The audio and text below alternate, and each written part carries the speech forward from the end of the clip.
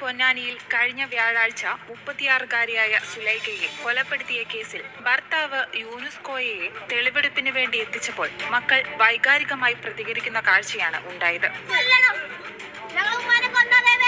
സുഹൃത്തുക്കളെ നമസ്കാരം. പുതിയൊരു വീഡിയോയിലേക്ക് എല്ലാവർക്കും സ്വാഗതം. നമ്മളിപ്പോൾ കണ്ട ആ ഒരു വീഡിയോ എന്ന് പറഞ്ഞു കഴിഞ്ഞാൽ മലപ്പുറം പൊന്നാനിയിൽ നിന്നുള്ളതാണ്.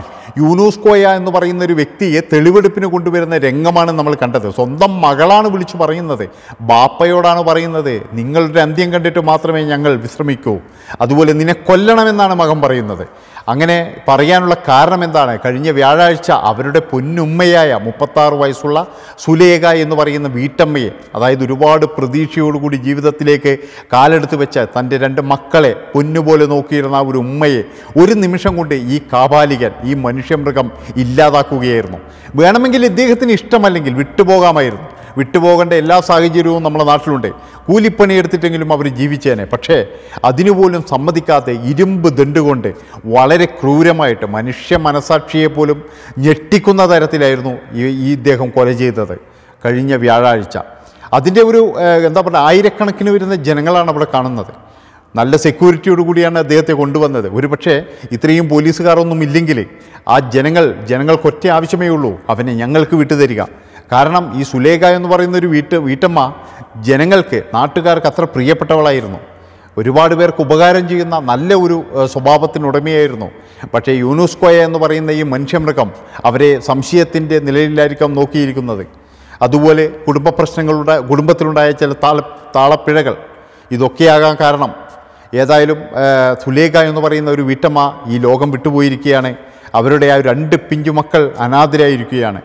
ആ ഒരു മകളും മകനും അവരുടെ സങ്കടം നമുക്ക് കാണാൻ കഴിയുന്നതിലും മേലെയാണ്. അവരുടെ ആ ദുരവസ്ഥ നിങ്ങളൊന്ന് ആലോചിച്ച് നോക്കണം. ഇപ്പോൾ അവർക്ക് ഉമ്മയുമില്ല ഉപ്പയുമില്ല. ഒരു നിമിഷം കൊണ്ട് രണ്ടുപേരും പോയിരിക്കുകയാണ്. ഉപ്പായെ ഇനി അവർക്ക് വേണ്ട.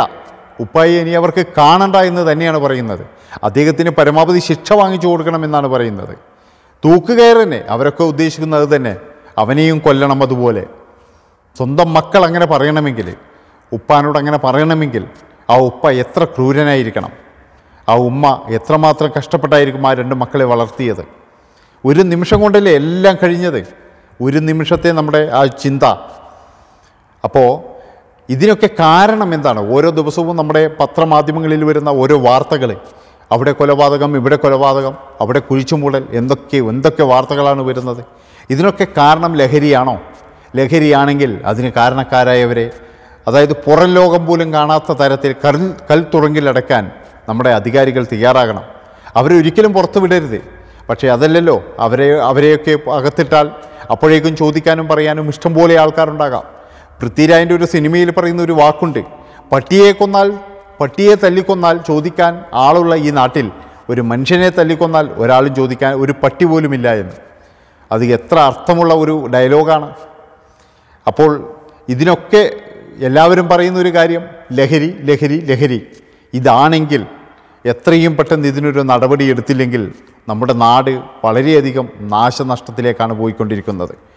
അപ്പോൾ ഇത്രയും പറഞ്ഞുകൊണ്ട് ഈ വീഡിയോ ഇവിടെ വെച്ച് വേണ്ടിപ്പോയാണ് ഇഷ്ടപ്പെട്ട് കഴിഞ്ഞാൽ എല്ലാവരും ചാനൽ സബ്സ്ക്രൈബ് ചെയ്യുക. നന്ദി നമസ്കാരം.